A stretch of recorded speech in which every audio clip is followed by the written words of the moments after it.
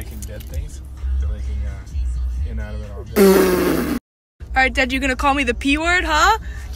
You trying to fight right now? Call me the P walk word? walk, talk the talk. Come on, Walk bro, the walk, talk the talk. talk the talk.